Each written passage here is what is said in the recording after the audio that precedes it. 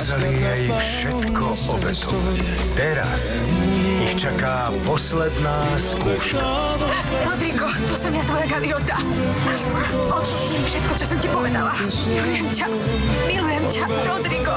Pozrite si finále romantického príbehu Čistá láska. Piatok o 17. u vás doma.